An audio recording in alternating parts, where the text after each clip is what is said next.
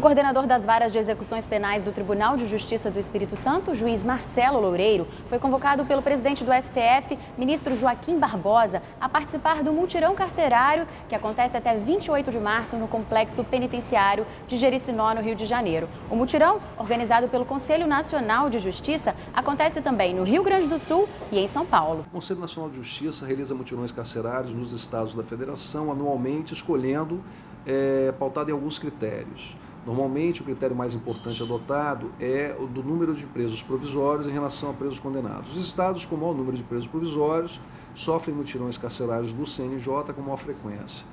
Os estados maiores da federação, que apresentam sistemas mais complexos, com é, unidades com um número maior de pessoas sendo mantidas encarceradas, também têm regularmente a realização desses mutirões carcerários. Quais são os objetivos?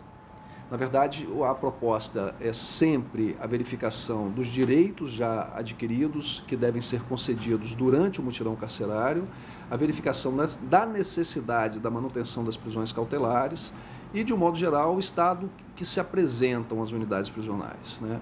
No mutirão, as visitas são realizadas em todas as unidades do estado e são verificadas as condições em que as pessoas são mantidas nesses locais e um relatório é apresentado ao plenário do Conselho Nacional de Justiça.